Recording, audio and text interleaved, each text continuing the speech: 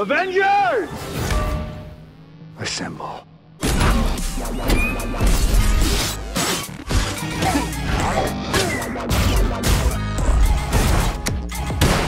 Aqui estamos mais uma vez, comunidade se liga. Desde que a Marvel começou a fazer filmes com seus personagens, muitos, mas muitos atores estão ligados aos seus papéis. Ao longo dos anos, muitos atores foram especulados, mas acabaram não conseguindo um papel. Às vezes por conta de agenda, às vezes por audições que acabaram sendo desastrosas. De qualquer forma, vamos dar uma olhada em como algumas coisas poderiam ter sido. Vamos ver quais atores foram quase escalados como personagens da Marvel. Bora mergulhar no mundo da Marvel?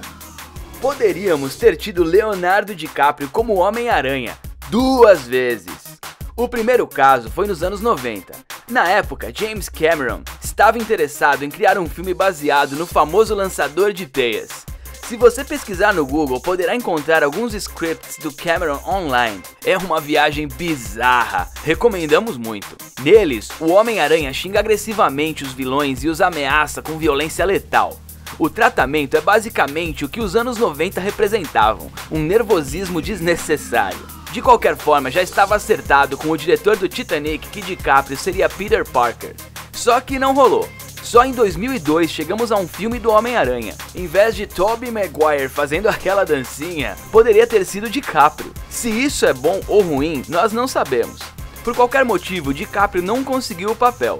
E de acordo com as especulações, ele foi até uma audição, no entanto, os cineastas preferiram Maguire como protagonista. DiCaprio afirmou que sua carreira teria mudado se ele tivesse sido Homem-Aranha. Agora, se pra melhor ou pra pior, bom, isso nunca saberemos. Quando o Homem de Ferro 2 estava começando em 2008, a Marvel procurava uma atriz para ser a Viúva Negra. Curiosidade: Scarlett Johansson não foi a melhor escolha. Aparentemente, havia uma série de atrizes antes dela na lista, uma delas era Emily Blunt, que foi a escolhida. Tudo o que ela precisava fazer então era assinar o seu nome no contrato. No entanto, ela rejeitou. Mais tarde, ela explicou os motivos, e um deles foi incompatibilidade de agenda entre Homem de Ferro 2 e As Viagens de Gulliver. Se ela soubesse como seria a aceitação de As Viagens de Gulliver, não teria feito isso. A outra razão era sobre como as mulheres são frequentemente retratadas em filmes de super-heróis. Segundo ela, as mulheres são sempre menos importantes enquanto os homens saem e salvam o mundo. Mas ela não descartou a possibilidade completamente. De fato, ela afirmou que queria fazer um filme de quadrinhos. Desde então, Blunt tem sido associada a ser Peggy Carter em Capitão Marvel, algo que também não rolou. Recentemente, os fãs até escalaram ela para um papel no Quarteto Fantástico. Ah, não, acho que não ia dar certo. Melhor deixar isso para Susan Storm. Outro nome também é frequentemente mencionado pelos fãs. Boa! Estamos ficando bons nesse negócio do YouTube, hein? Desde que John Krasinski passou de quase figurante em um escritório para uma estrela de ação, seu nome aparece regularmente só de sussurrar o nome de Reed Richards. Também faz sentido porque ele e Emily Blunt são casados na vida real. Mas antes dessa possibilidade que não rolou, Krasinski fez um teste para um papel no MCU. Em 2010, a Marvel procurava alguém para vestir azul, branco e vermelho. Capitão América. Krasinski apareceu na audição para o personagem da Marvel. Quando ele fala sobre isso agora, Krasinski menciona que ama super-heróis. Então, conseguir o papel teria sido ideal para ele. Durante a audição, os executivos deixaram Krasinski experimentar o traje icônico. Na época, ele não tinha muita experiência em filmes de ação e nem estava tão em forma como hoje. Mesmo assim, ele ainda se sentia muito bem com seu físico. Mas assim que ele vestiu a metade inferior do uniforme e ficou parado sem camisa,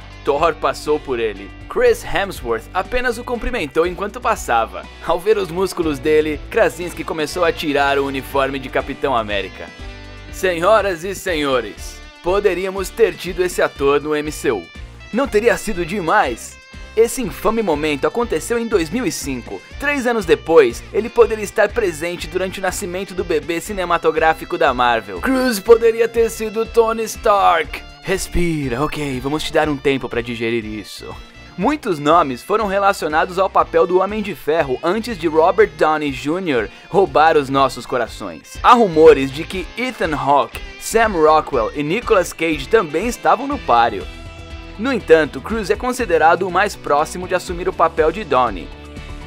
Cruz falou em entrevista sobre esse boato, mas não falou muito, apenas disse o quão perto chegou de ser o escolhido para o papel. Se liga no que o cara falou.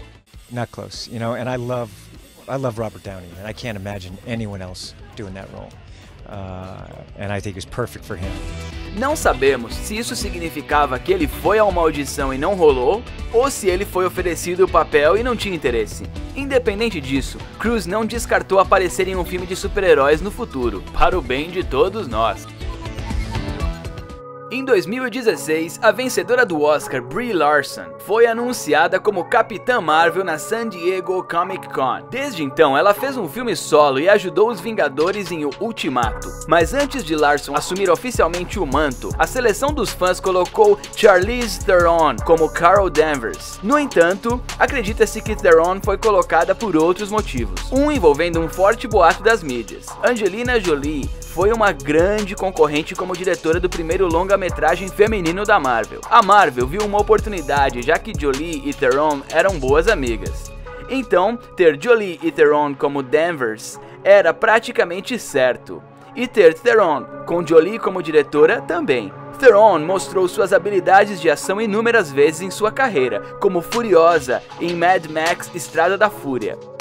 Além de ter sido Lorraine Broughton uma agente secreta de Atomic Blonde, agente especial, mas não rolou. Tanto Theron quanto a Marvel deram pouca explicação sobre o que aconteceu. Theron não era o único nome mencionado para o papel. Emily Blunt, Jessica Chastain e Bryce Dallas Howard também foram citadas. Além disso, Olivia Wilde, que vai aparecer aqui já já.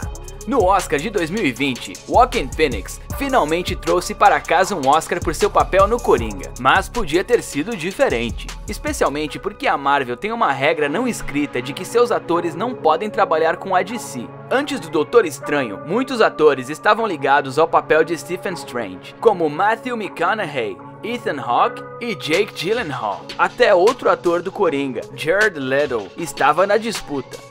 Segundo rumores, Phoenix foi a primeira escolha como feiticeiro supremo. Ele é um cara peculiar, então ser um personagem peculiar faz sentido, certo? Hum, talvez não. Ele recusou o papel e não dá muitas explicações sobre o motivo. Muitos jornalistas da mídia afirmaram que Fênix não estava interessado em participar de um filme de super-heróis, que ele estava acima desse gênero. Então, ele queria esclarecer as coisas a esse respeito. Havia especulações de que uma longa turnê de publicidade de seis meses foi o que impediu o ex-Johnny Cash de participar da gravação. Mas considerando a quantidade de trabalho de mídia que ele fez para o Coringa, esse também parece não ser o motivo real.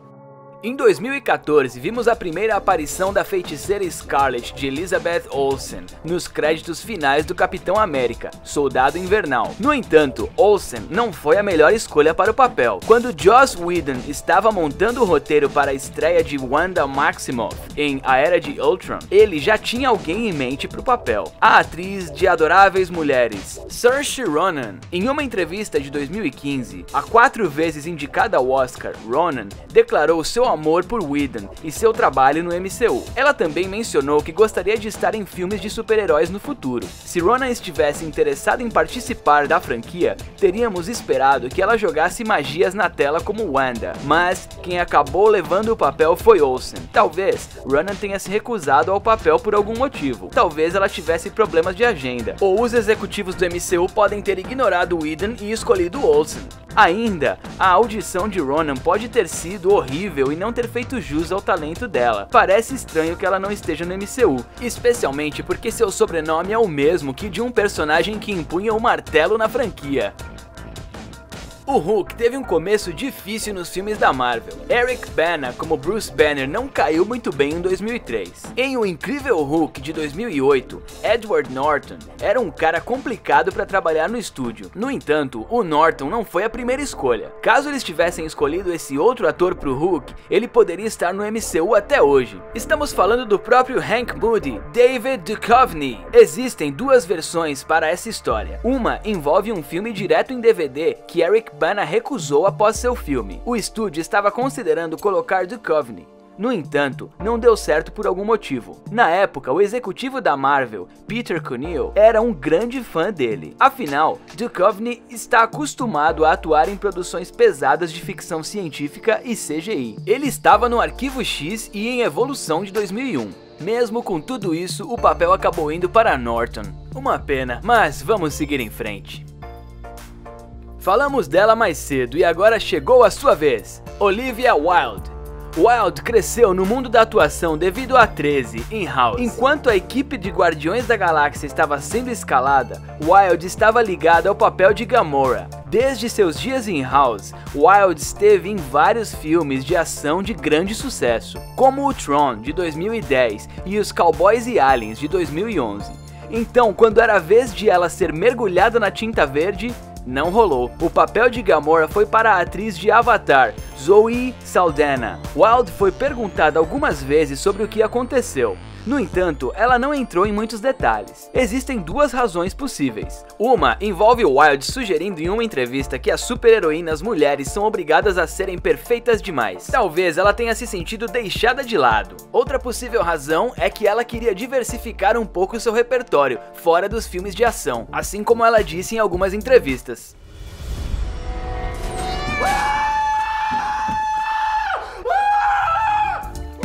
É, podíamos ter tido Jensen Ackles no MCU. Ackles concorreu a dois papéis na franquia. Ele fez o primeiro teste para ser o Capitão América e, segundo rumores, ele foi a segunda escolha atrás de Chris Evans. Desculpe, Krasinski. No entanto, como a audição não deu muito certo para Steve Rogers, a Marvel ainda estava interessada no Dean de Supernatural.